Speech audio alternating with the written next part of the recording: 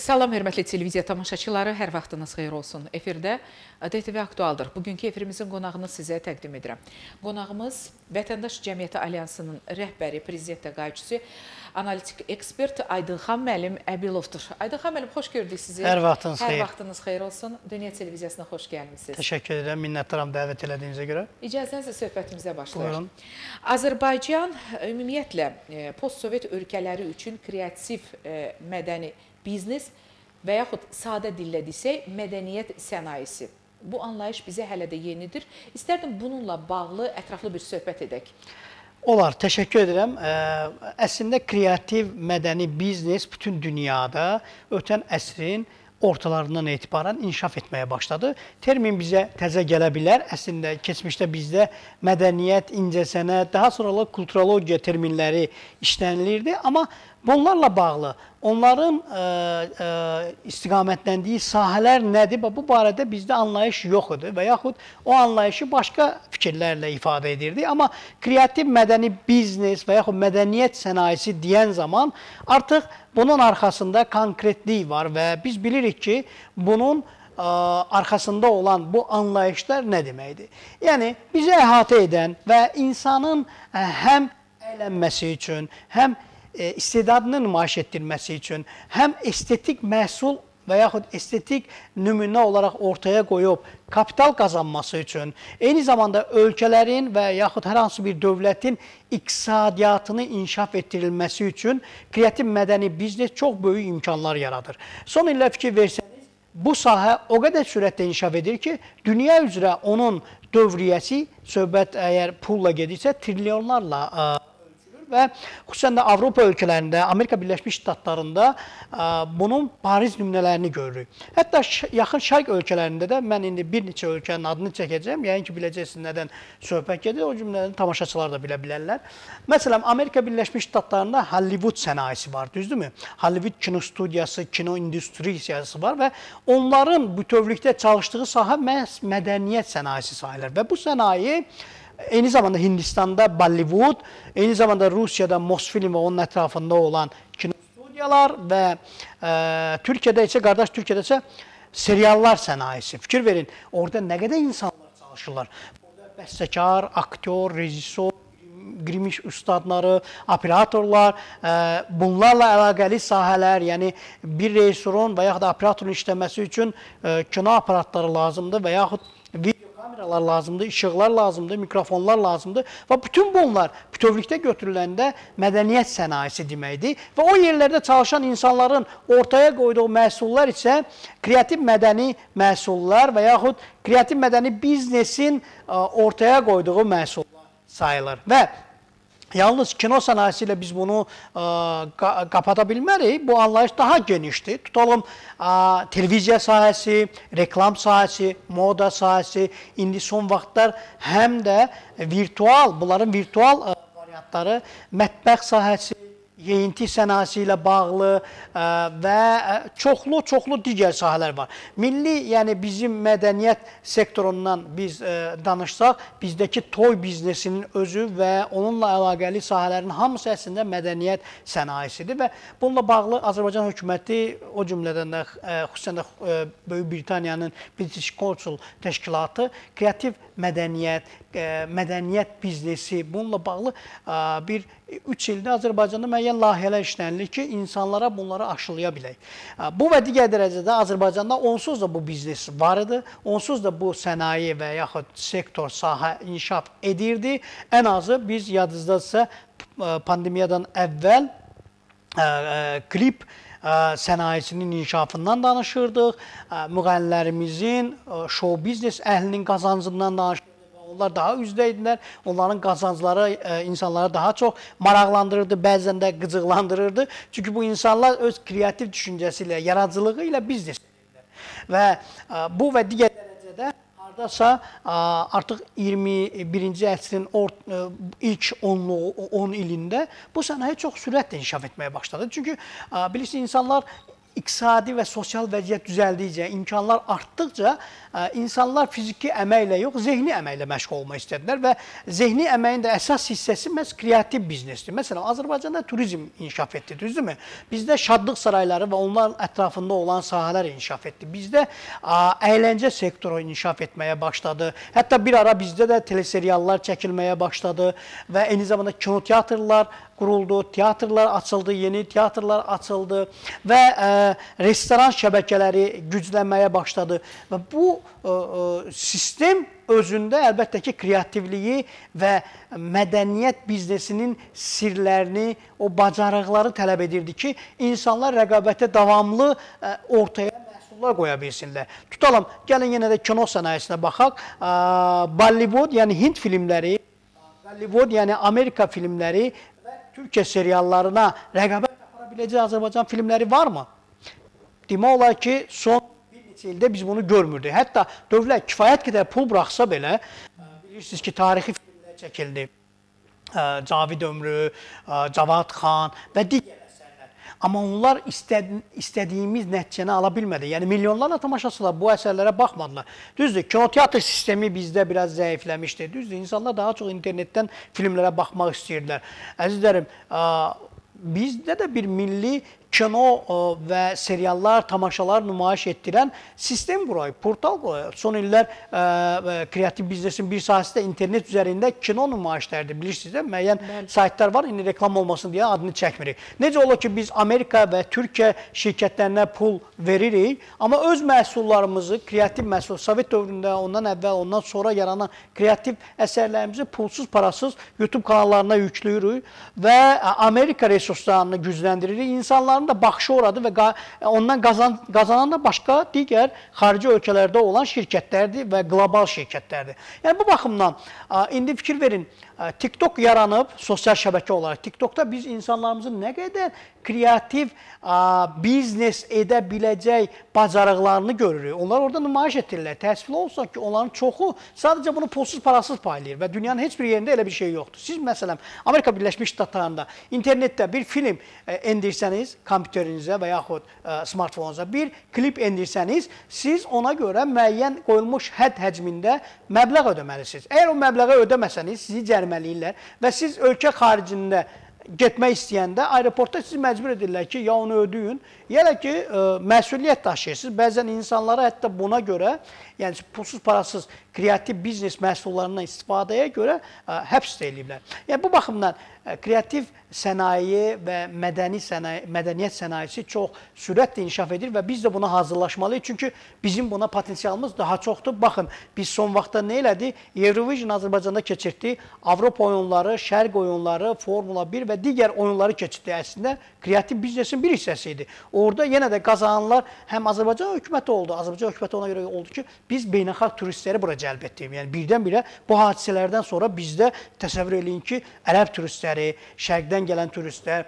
qonşu Rusiya, Qazaxıstan, Orta Asiyadan gələn turistlər çoxaldı və bizim ə, turizm biznesi, hansı ki, kreativ biznesin bir hissəsidir, bir sahəsidir, bir qoludur, çox sürətlə inkişaf etdi. Yeni turizm məkanları yarandı, onunla bağlı sahələr yarandı, onunla bağlı müxtəlif yeni ə, ə, iş yerləri açıldı, vergi ə, və ə, xüsusi ödəmələr büdcəyə gəldi. Bunu nə pis ki, insanlar ə, durub indi böyük zavodlar ki, biz maşın istehsal eləyə bilmirik, düzdürmü? Gülün səsəni və ya kompüter istehsal eləyə bilmirik. Amma mədəni biznesin gözəlliyi ondadır ki, hər bir xalq, hər bir cəmiyyət özünə məxsus ə, ə, məhsulları ortaya qoya bilir və bundan da pul qazanır. O cümlədən də ə, dediyim kimi turizm və digər sahələrdə. Aydındır. Azərbaycan Respublikasının prezidenti İlham Əliyevin dövlət televiziyası ilə çıxış oldu. Yəqin ki, izlədiniz. Bəli. Və bu çıxışda cənab prezident Qarabağımızın, Şuşamızın yenidən qurulması ilə bağlı öz fikirlərini söylədi. Eyni zamanda xüsusilə vurğuladı ki, Şuşanı Azərbaycanın mədəniyyət paytaxtı elan edib. Və istərdim bir məqama da toxunum. Cənab prezident məmurlardan da danışdı. Bax, istərdim bu çıxışla bağlı ətraflı danışasınız. Buyurun. Əslində 44 günlük uğurlu müharibə savaşı, savaş, yəni 2-ci Qarabağ savaşının zamanı biz Ali Baş Komandanın nə qədər böyük bir şəxsiyyət olaraq bu dövlət və bu ölkədə baş verən hadisələrin yəni üstündə durduğunu gördük və cənab prezident özünün həm çıxışları ilə, həm intervyuları ilə, həm müsahibələri ilə, həm də verdiyi qərarlarla bizi 44 günlük müharibənin qalib etdi və Qarabağı biz geri qaytardıq.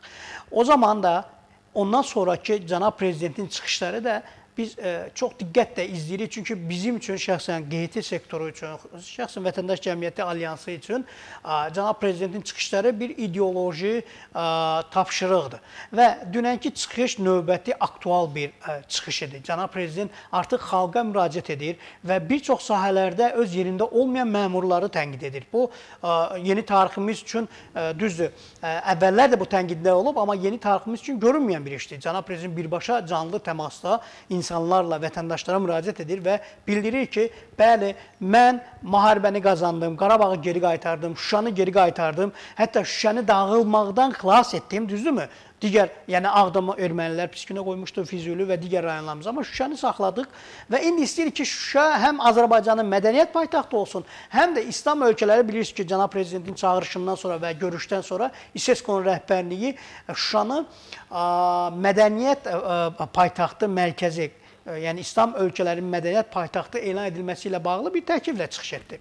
Amma baxın, bir çox məmurlarımız bunu ya tuta bilmirlər, ya başa düşmürlər.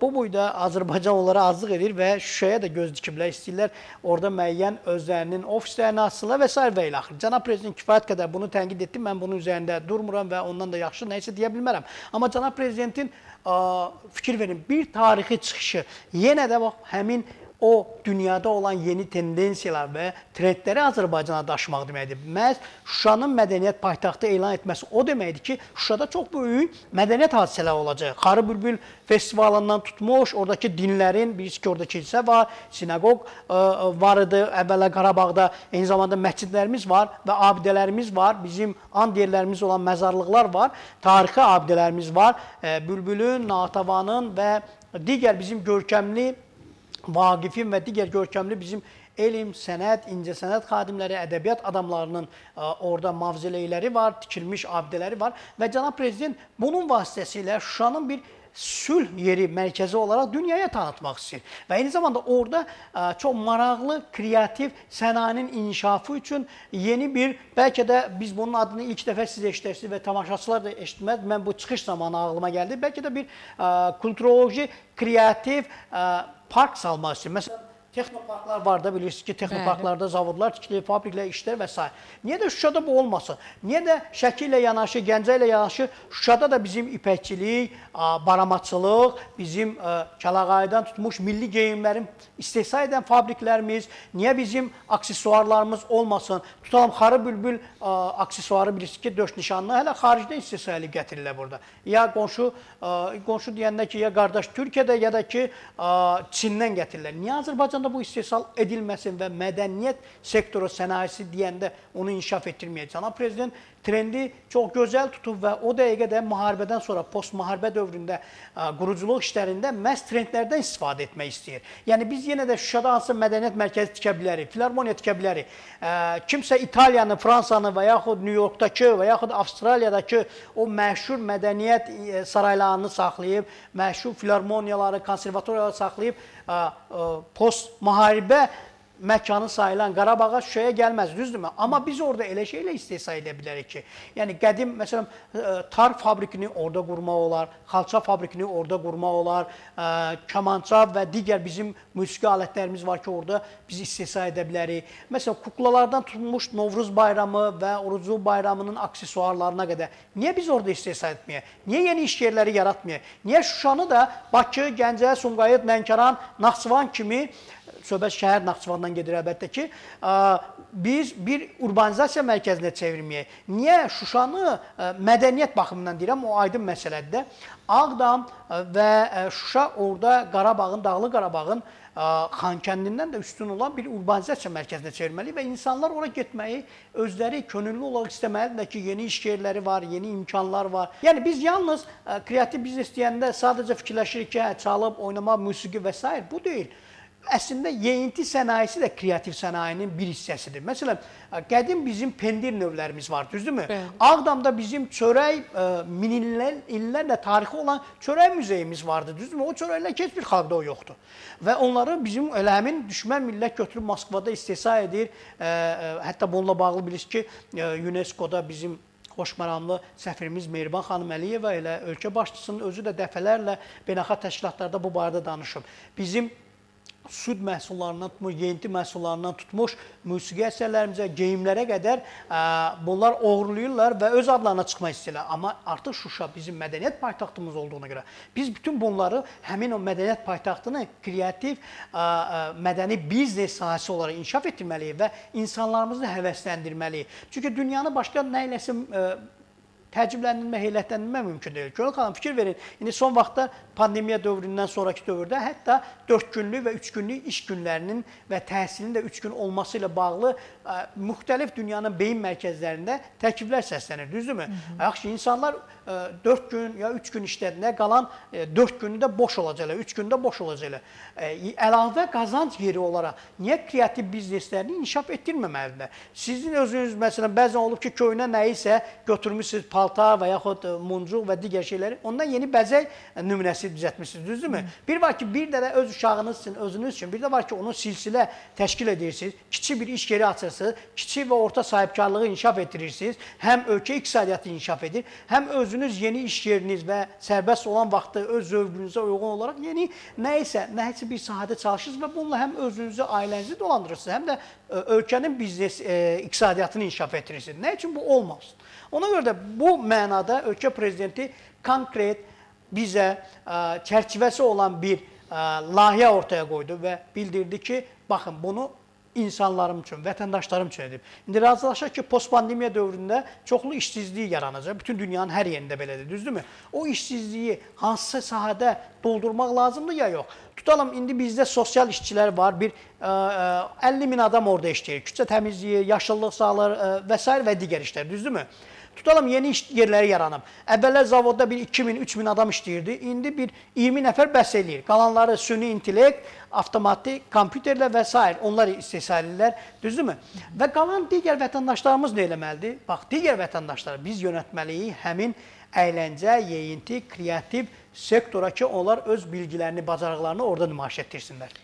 Aydınxan müəllim, dünyada mədəniyyət sənayesi, Azərbaycanda mədəniyyət sənayesi, kreativ biznesin iqtisadi tərəfləri.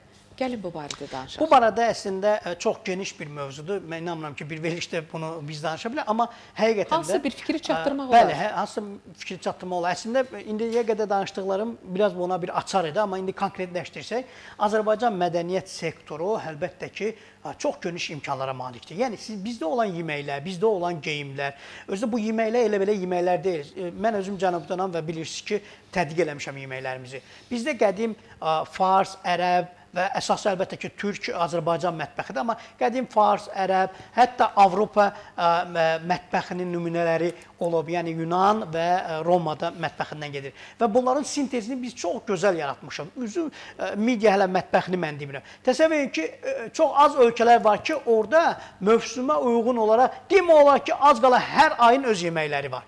Hər ayın. Təsəvvür edin ki, tutalım bizim Lənkəran zonasında balığın ə, yay ləvəngisi ilə qış ləvəngisi, yaz ləvəngisi arasında böyük fərq var. Və yaxud Naxçıvanda xəmir yeməklərini hansı mövsümdə yeyirlər?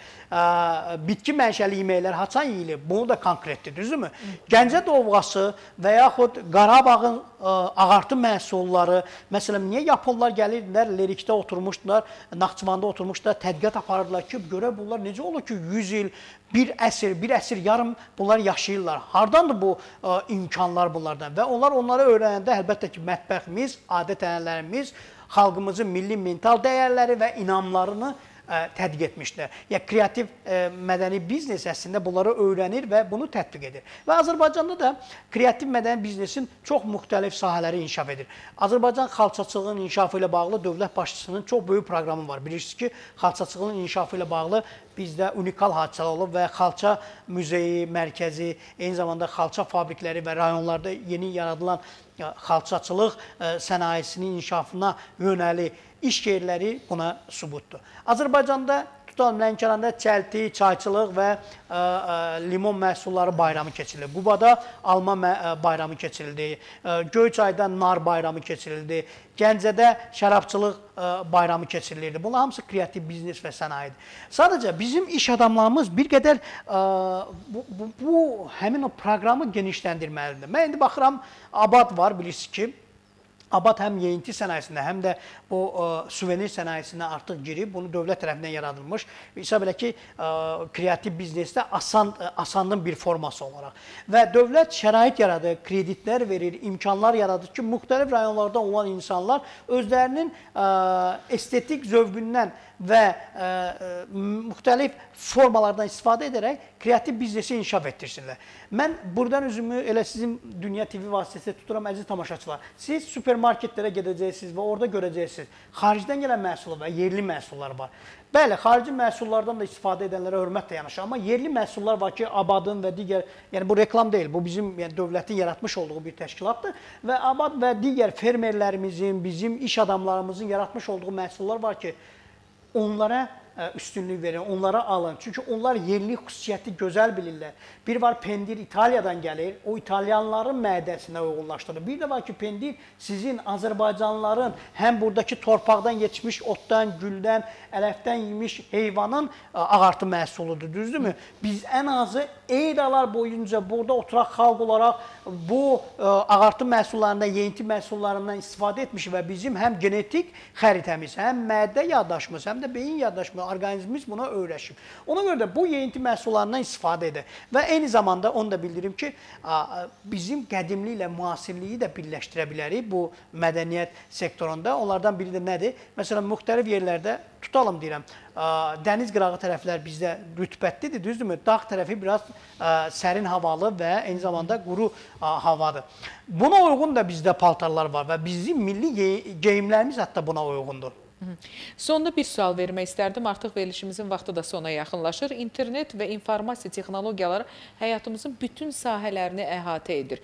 Kreativ biznesin, belə deyərdim, virtual variantı mümkündür yoxsa yox? Artıq biz ona getmişik. Artıq biz ona getmişik. Çünki e, müxtəlif blogerlər, e, tiktokerlər və youtuberlər var ki, onlar kreativ e, sənayinin bir hissəsi sayılan filmlər çəkirlər, xırda bir dəqiqəlik yumoristik və yaxud e, ciddi sosial əhəmiyyətli hadisələri özündə ehtiva edən video filmlər çəkirlər, foto şəkillər, Azərbaycanın gözəlliyi ilə bağlı, Azərbaycan təbiəti ilə bağlı, Azərbaycan həqiqətləri ilə bağlı, Qarabağla bağlı müxtəlif e, vizual e, və audial, yəni səsli və görüntülü məhsulları internetə yükləyirik və təsəvvür edin ki, internetdə olan materiallar 5 ildən sonra artıq kreativ məhsulla yanaşı, məhsulluğu ilə yanaşı həm də tarixi əsərlərdir. Biz internetdə öz virtual arxivimizi, öz virtual tariximizi yaradırıq. Necə ki, vaxtilə Nizami Gəncəvinin vaxtında, indi bilirsiniz ki, cənab prezident də kreativ sənayeni inkişaf etdirmək üçün Nizami Gəncəvi ili elan edib, eyni zamanda e, Şuşanı da paytaxt ili elan elədi. E, bunların hər ikisi həm ə, daxilə, həm də xarici hesablanmış və Azərbaycan həqiqətlərini dünyada tanıtmaq üçün möhtəşəm hadisələrdir. O cümlədən də bax Nizaminin vaxtında Azərbaycan türkçəsində yazılmış əsər biz tapa bilmirik. Düzdürmü? İndi də biz əgər geyikiriksə, internetdə biz kreativ əsərlərimizi yerləşdirmiriksə, yaymırıqsa, mədəniyyət sənayemizi inkişaf etdirmiriksə, əlbəttə ki, bir, bir neçə əsrdən sonra necə ki biz indi tənqid edirik babalarımızı, bizi tənqid edəcəklər. Bu baxımdan da virtual aləm bizə çox geniş imkanlar yaradır. Hətta insanlar var ki, virtual aləmdə öz teatrını yaradırlar, öz kino studiyalarını yaradırlar, öz bacarıqlarını e, e, ortaya qoyurlar. Məsələn, mən özümdən götürüm bir xalam qızım vardı. O Moskvada yoldaşını gözləyirdi ki, açan o evə nə isə gətirəcək, yəni çörək, yemək və s. Sonra bir dəfə oturdu fikirləşdi ki, niyə də mən Instagramda öz səhifəmi açmayım və orada Azərbaycan yeməkləri, Azərbaycan şirniyyatları hazırlayıb insanlara satmayım. Və beləcə bu kreativ bir sənaye yaratdı, e, iş yeri yaratdı və indi təsəvvür edin ki, o ə, e, həyat yoldaşından çox qazanır. Çünki niyə? Artıq onun hazırladığı yeməklər və onun səhifəsi geniş ə, e, reklam olunub, tanınır və insanlar ona sifarişlər verir. Bu da yaxşı pul qazanır. Demək, kreativ biznesin virtual variantı mövcuddur. Təşəkkür Çox edirəm Aydın xan müəllim. E, Çox sağ olun ki, bugünkü efirimizə gəldiniz, iştirak etdiniz, bizi maraqlandıran sualları da cavablandırdınız. Təşəkkür edirəm. çox sağ olun. Hörmətli televiziya tamaşaçıları, qeyd etmək istərdim ki, bugün DTV Aktualın qonağı Vətəndaş Cəmiyyəti Alyansının rəhbəri, prezident təqaüdçüsü, analitik ekspert Aydınxan müəllim Əbilov idi. Təşəkkür edirəm sizə. Bizə ayrılan efir vaxtımız sona çatdı. Hörmətli televiziya tamaşaçıları, DTV Aktuala baxdınız. Sağ olun.